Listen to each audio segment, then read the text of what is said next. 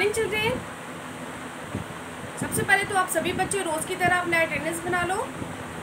और अटेंडेंस बनाने का प्रोसेस आप सभी बच्चे को पता है, बस इसी प्रोसेस के अकॉर्डिंग अटेंडेंस बनाइए, फिर हम लोग आज की पढ़ाई शुरू करेंगे।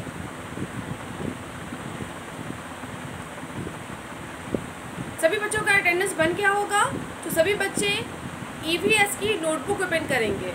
नोटबुक इसलिए कि आज हम लोग, देखिए चैप्टर मैंने नहीं लिखा है क्योंकि इस जो पेज नंबर मैंने लिखा, page number P for page okay R N O मतलब नंबर तो पेज नंबर फोर्टी सेवन में जो रिवीजन टाइम दिया हुआ है, आज हम इसे करेंगे।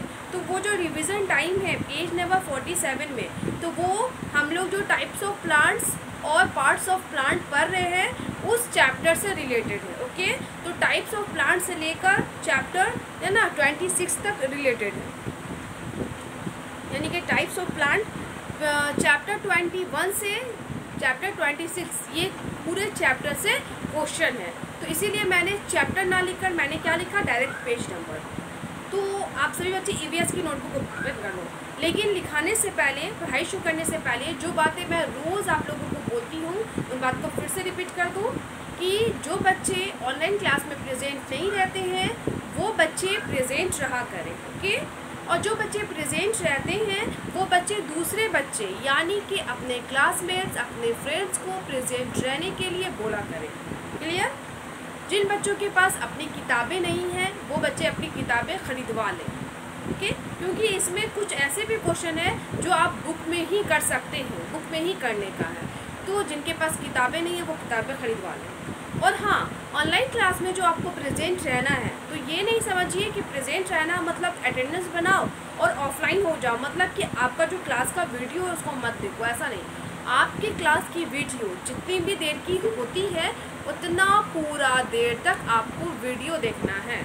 और वीडियो के दौरान आपके टीचर्स आपको जो भी बोलते हैं, वो सारा काम आपको करना है ओके जैसे बुक ओपन करने को नोटबुक ओपन करने को बोर्ड पे से नोट करने को साइलेंट रहने को है ना? आ, मेरी तरफ़ ध्यान से देखने को बातों को समझने को ये सारी बातें आपको फॉलो करनी है। क्लियर तो आपको प्रेजेंट रहना है जो बच्चे प्रेजेंट नहीं रहते हैं और आप लोग प्रेजेंट रहते हो तो आप लोग दूसरे बच्चों को प्रेजेंट रहने के लिए बोला करो और जिनके पास किताबें नहीं हैं, वो बच्चे अपनी किताबें खरीदवा लें।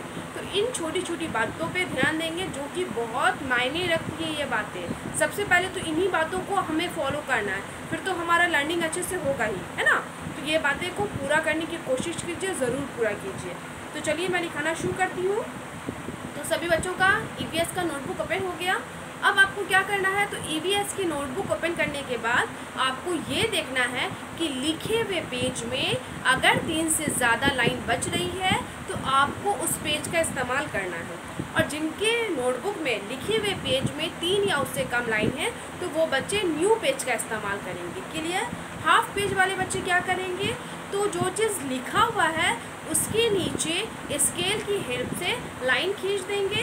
उसके बाद एक लाइन में डेट चैप्टर रिमेंबर दूसरे लाइन में हेडिंग और तीसरे लाइन से लिखना शुरू कर दीजिएगा। चैप्टर की जगह पे पेज नंबर लिख दीजिएगा ओके और जिनका न्यू पेज है, वो बच्चे क्या करेंगे? तो डेट पेज नंबर और रिमेंबर नोटबुक में सबसे ऊपर फ़र्स्ट लाइन में हेडिंग और सेकंड लाइन से लिखना शुरू कर देंगे। क्लियर तो चलिए हम लिखना शुरू कराते हैं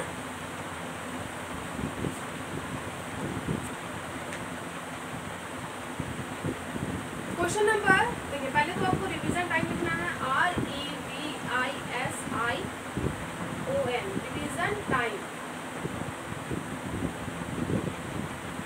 और रिमेम्बर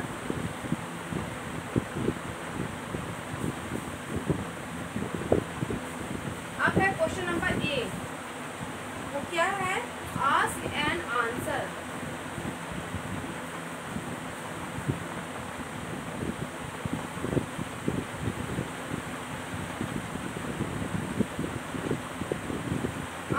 आंसर पूछो और उत्तर दो।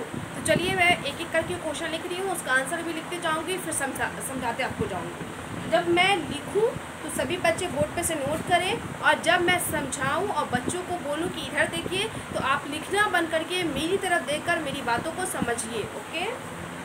तो फ़र्स्ट क्वेश्चन है name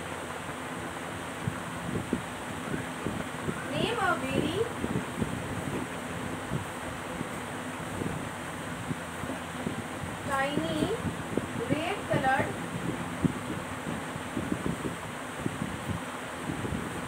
red colored fruit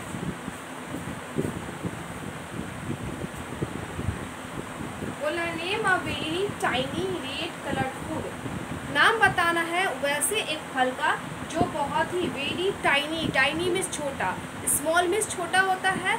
अगर हम टाइनी का इस्तेमाल कर रहे हैं तो बहुत छोटा। यहाँ पे वेरी नहीं भी लगता तो भी टाइनी का मीनिंग ही होता है, बहुत छोटा। और वेरी लग गया तो मतलब बहुत छोटा जो रेड कलर फ्रूट है। फ्रूट है, यानी कि लाल रंग का जो फल है, जो बहुत छोटा होता है, उस एक फल का नाम बता रहा है। तो आपने कभी देखा है, खाया है वैसा एक फल? ये आप जानते हैं, नहीं जानते तो जान लीजिए। जो लाल रंग का तो होता है, लेकिन बहुत ही छोटा होता है। तो उसका नाम क्या है? तो चलिए मानसा लिखते हैं। Cherry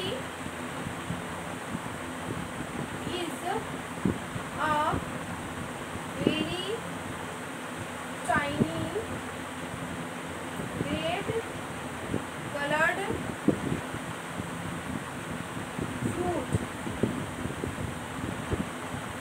हमने सेंटेंस के साथ लिखा इसलिए सेंटेंस के साथ लिखा देखिए नेम बताना आसान होगा लेकिन आप लोग अब क्लास वन में भी जाओगे कुछ दिन के बाद, अभी तो फ़िलहाल यूकेजी में हो, लेकिन वन में जाइएगा तो वहाँ पे आंसर क्वेश्चन रहेगा। तो आप अभी से अगर सेंटेंस नहीं पढ़ पाइएगा तो वहाँ पे सेंटेंस को पढ़ना और उसे याद करना मुश्किल हो जाएगा। तो यहाँ पे मैंने इसीलिए सेंटेंस में आंसर दिया। मैं आंसर डायरेक्ट वर्ड भी दे सकती थी कि name a very tiny red colour food तो चेरी ओके लेकिन सिर्फ़ बोलना अच्छा लग रहा नहीं ना? तो हम पूरा जैसे आपसे पूछे ना व्हाट इज़ योर नेम आप बोलेगा मेरा नाम ऐसे डायरेक्ट बोलेगा अभिषेक कुमार, कितना अजीब लगेगा। लेकिन बोलेगा my name is Abhishek Kumar, मेरा नाम अभिषेक कुमार है। तो कितना अच्छा लग रहा है। तो इस तरीके से अगर हम सेंटेंस के साथ यूज़ करें, उस वर्ड को, उस आंसर वाले शब्द को तो बहुत अच्छा लगता है। तो हमारा आंसर है, cherry is a very tiny red colour fruit cherry जो होता है, बहुत ही छोटा, लाल रंग का फल होता है। तो हमारा क्वेश्चन है name a very tiny red बोल है, बहुत ही छोटे लाल रंग का फल का नाम बताना है। तो आंसर है, cherry is a very tiny red coloured fruit.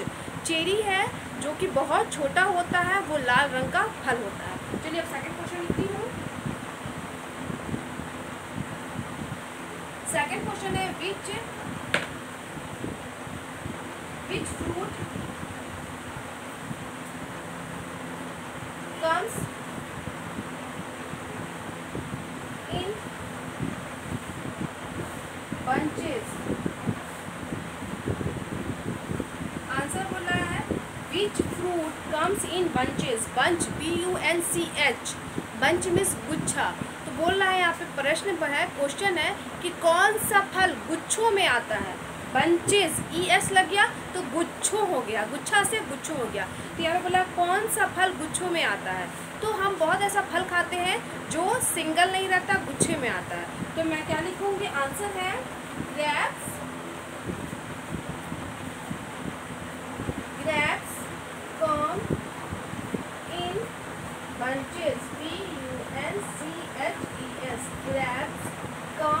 bunches अंगूर गुच्छे में आता है। तो आपने अंगूर कभी देखा है? कभी भी पापा आपके अंगूर तो अक्सर लाते होंगे आपके घर में। आपने देखा होगा, मम्मी भी बाज़ार जाती है तो ख़रीद के लाती है चीज़ों को। तो अंगूर देखा है ना आपने? जैसे हम सेब लेते हैं तो सेब सिंगल सिंगल सिंगल सिंगल होता है पॉलीथीन के अंदर, लेकिन उसी अंगूर को ख़रीदते हैं तो हमें उसका गुच्छा उठाना होता है और उस गुच्छे में बहुत सारा होता है। है ना? इतना सारा होता है कि हम उसे अगर तोड़े तो एक टाइम पर आराम से खा लेंगे। इतना होता है। तो हमारा क्वेश्चन था which fruit comes in bunches कौन सा फल गुच्छे में आता है? तो हमारा आंसर है ग्रेप्स कम इन बंचेस अंगूर जो है, गुच्छे में आता है। तो आपने देखा कि बोर्ड पे बिल्कुल स्पेस नहीं है तो मैं इसे वाइप करूँगी, तब नेक्स्ट क्वेश्चन लिखूँगी। तो फिर से एक बार इसे समझा दूँ तो वाइप करूँगी। तो हमारा क्वेश्चन है name a very tiny red colour fruit tiny का आई का डिटेल ऊपर है। Very tiny red colour fruit तो हमारा आंसर है cherry is a very tiny comma red coloured fruit full stop okay तो आप सभी बच्चे क्वेश्चन ध्यान से लिखेंगे। क्वेश्चन एक या दो लाइन जितना में है, जैसे मेरा क्वेश्चन ये वाला क्वेश्चन दो लाइन में अट रहा तो मैंने दो लाइन में लिखा। यहाँ पे जगह बच रही है, लेकिन मैंने यहाँ पे आंसर नहीं लिखा। उसी तरीके से नेक्स्ट लाइन में आंसर लिखेगा। फिर आंसर जितना लाइन में अटता है। तो ये आंसर मेरा दो लाइन में था, मैंने दो लाइन में लिखा। फ्रूट के बाद फुल स्टॉप दिया। यहाँ पे स्पेस है, यहाँ पे नहीं लिखा। फिर जो सेकंड क्वेश्चन है, उसको नेक्स्ट लाइन यानी उसके नीचे लिखा। इसी तरीके से आप जितना लाइन में क्वेश्चन आता है, उतना लाइन में लिखिए, फिर फिर उसके नीचे आंसर लिखिए, फिर आंसर जितना लाइन में आता है, उतना लाइन में लिखिए, फिर उसके नीचे नेक्स्ट क्वेश्चन को लिखिए ओके अगर लाइन बचती भी है किसी भी क्वेश्चन के बाद, किसी भी आंसर के बाद, उस लाइन में मतलब लिख रहे हैं और उसी लाइन में जगह बच रही जैसे ऐसे बचा ऐसे बचा, वहाँ पर नहीं लिखना है ओके तो क्वेश्चन है name a very tiny red colour fruit तो हमारा आंसर है cherry is a very tiny red colour fruit अब सेकंड क्वेश्चन है which fruit come in comes in bunches तो हमारा आंसर है grapes come in bunches okay मैं wait करी हूँ नेक्स्ट क्वेश्चन लिखाऊँगी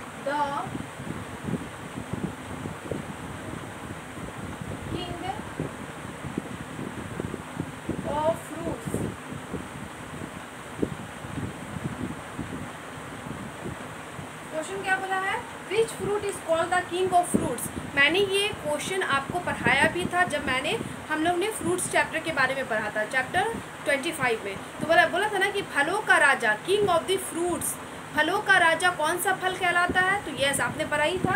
ये आंसर लिखते हैं। Mango mango is called the king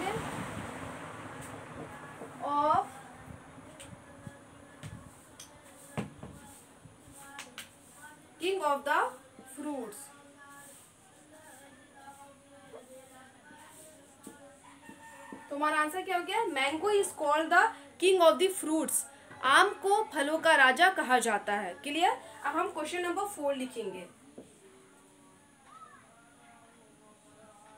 Name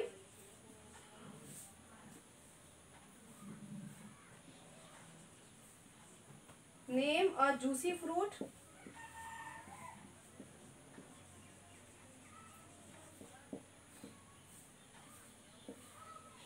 question number four बोल रहा है, नेम अ जूसी फ्रूट बोल रहा है कि एक ऐसे फल का नाम बताइए जो कि जूसी फ्रूट है, यानी कि रस भरा फल है। देखिए, फल तो बहुत ऐसे होते हैं तो ज़्यादातर फल तो रस भरे होते हैं। ज़्यादातर एकदम गूदे वाला होता है है ना? तो हमें क्या बोल रहा है? रस भरे फल का नाम बताना है। तो अब देखिए, आपने फल खाया होगा, बहुत सारे फल खाए हैं तो देखिए, कुछ फल को जब हम मुँह में रखते हैं तो वो पानी जैसा लगता है, रस भरा हुआ लगता है। तो हमें वैसे फल का नाम बताना है ओके तो जो मुँह में रखते के साथ रस छोड़े, है ना? या कुछ फल को खाते तो वो गूदे जैसा होता है। जैसे केला को खाते हैं तो उसमें से रस नहीं निकलता, लेकिन उसमें से एकदम सॉफ्ट गुदा निकलता है ओके लेकिन कुछ फल को मुँह में रखते हैं तो उसमें से रस निकलने लगता है। तो यहाँ पे बोला नेम आ जूसी फ्रूट तो हम लिख देंगे O R A N G E orange is a juicy J U I C E juicy fruit.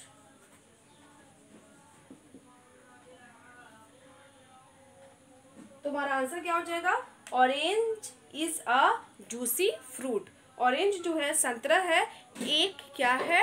तो वो रस भरा फल है। आपने ऑरेंजेस खाए, हैं ना, बहुत सारे। तो कभी भी ऑरेंज को हम जब भी, जैसे ऐसे भी, उसका जो हम पील ऑफ़ करते हैं, यानी कि उसका छिलका हटाते हैं तो हम उसमें से छिलका में से भी रस निकलता है और उसको अगर हम ज़ोर से दबा देंगे तो हमारे हाथों में उसका रस आ जाता है। तो हम एकदम धीरे हल्के हल्के हाथों से उसके छिलके को उखाड़ के फिर मुँह में रखते हैं, उसका रेशा को भी हटाते हैं।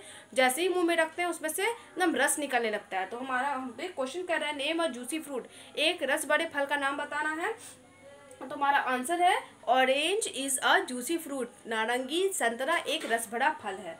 तो आप देख रहे हैं बोर्ड पे नहीं जगह है तो मैं इसे वाइप करके नेक्स्ट क्वेश्चन लिखाऊँगी। हालाँकि आपके पेज नंबर फोर्टी सेवन में जो क्वेश्चन नंबर ए है, उसमें बहुत सारा क्वेश्चन है। तो बहुत सारा एक बार में मैं नहीं लिखाऊँगी थोड़ा थोड़ा करके ताकि आपको याद करने में आसानी हो। तो यहाँ पे क्वेश्चन नंबर थर्ड है, एक बार फिर से पढ़ दूँ, फिर वाइप करूँगी। क्वेश्चन बताना which fruit is called the king of the fruits तो हमारा आंसर है mango is called the king of the fruits आम को फलों का राजा कहा जाता है। क्वेश्चन नंबर फोर है नेम अ जूसी फ्रूट तो हमारा आंसर है orange is a juicy fruit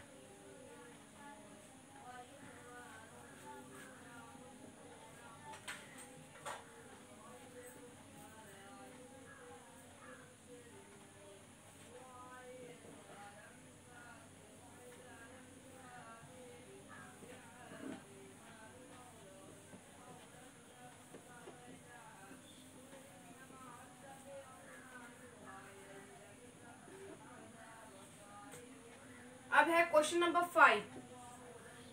वो है which fruit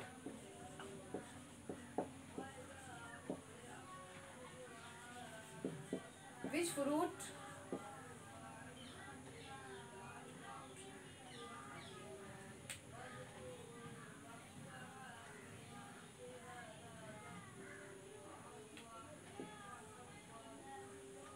which fruit drink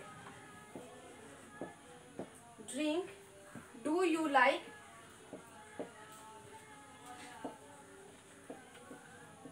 do you like the most?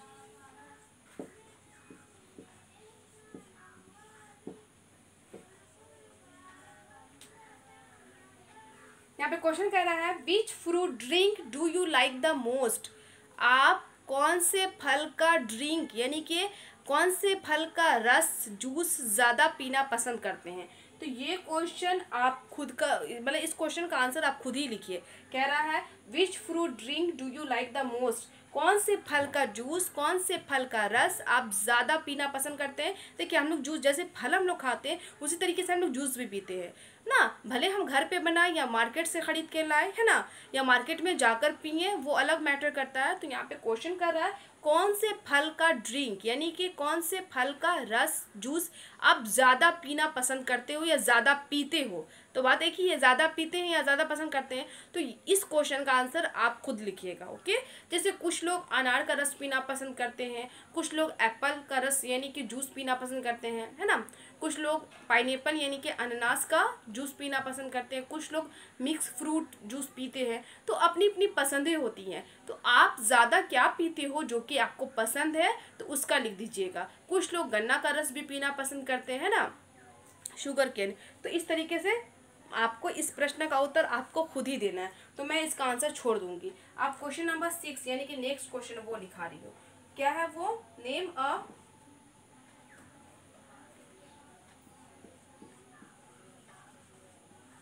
name a large fruit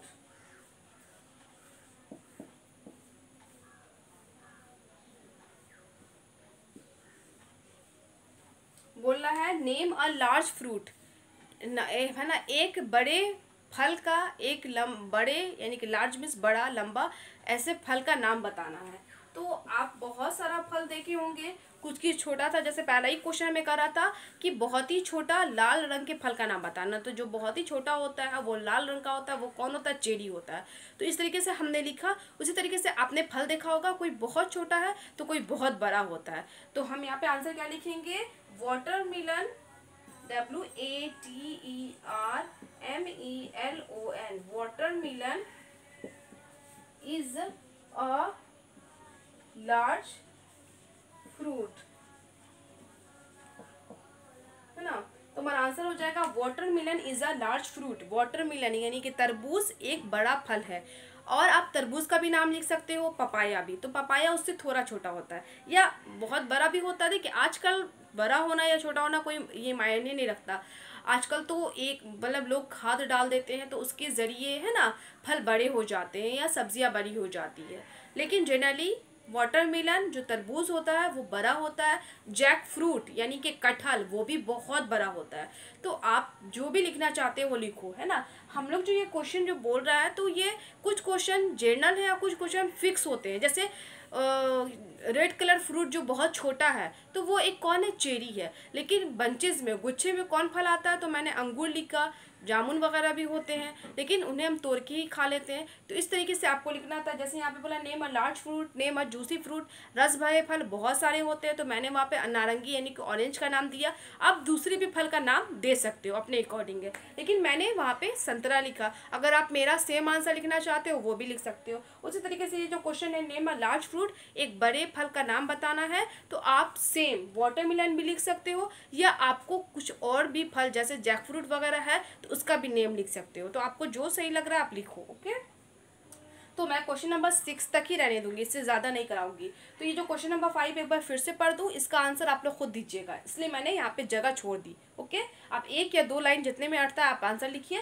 पूरा सेंटेंस के साथ लिखिएगा ओके जैसे क्वेश्चन है which fruit drink do you like the most कौन से फल का पिए, यानी कि पीने का चीज़, यानी कि रस जूस आप ज़्यादा पीते हो, ज़्यादा पीना पसंद करते हो? तो जैसे मैं लिख दूँगी द पाइन ड्रिंक है ना? We we like the most या the pine drink I like the most okay pine का जो ड्रिंक है, यानी कि पाइन का जो जूस है, मुझे बहुत पसंद है। उसी तरीके से आपको जिस फल का भी जूस पसंद है, ज़्यादा पीना तो आप उस फल का नाम लिख सकते हो। तो सेंटेंस के साथ तो मैंने कैसे लिखा? The pine drink I like the most है ना? पाइन का जो ड्रिंक है, मैं बहुत पीना पसंद करती हूँ इस तरीके से। तो अब क्वेश्चन नंबर फाइव है which fruit drink do you like the most इसका आंसर आप खुद दीजिए, खुद लिखिए, क्योंकि आपको जो पसंद है वो लिखिएगा। क्वेश्चन नंबर सिक्स है नेम अ लार्ज फ्रूट तो बोला एक बड़े पौधे का नाम, एक सॉरी एक बड़े फल का नाम हमें बताना है तो हमारा आंसर हो जाएगा water melon is a large fruit water melon यानी कि तरबूज एक बड़ा फल है ओके तो हम यहीं तक रहने देते हैं। इसमें तो क्वेश्चन ट्वेंटी ट्वेंटी वन है तो मैंने आज सिक्स कराया, फिर डेली फाइव फाइव कराऊँगी ताकि आप याद भी कर सको, आपको याद करने में भी आसानी हो। तो आपका होमवर्क हो जाएगा। Remember page number forty seven है ना? Remember page number forty seven okay remember question number A of page number forty seven page number forty seven का क्वेश्चन नंबर ए और क्वेश्चन नंबर ए का मैंने कितना क्वेश्चन लिखाया? लिखाया तो सिक्स है, लेकिन मतलब सिक्स क्वेश्चन मैंने हम लोग ने टच किया है, जिसका पाँच आंसर मैंने दिया है, एक आंसर आपको खुद ही लिखना है ओके तो आपका होमवर्क है remember question number A of page number forty seven page number forty seven का क्वेश्चन नंबर ए आपको खुद ही लिखना है ओके? अब मैं अपने क्लास को यहीं पे स्टॉप कर रही हूँ और जब क्लास स्टॉप होता है एंड होता है तो उस समय मैं क्या देती हूँ?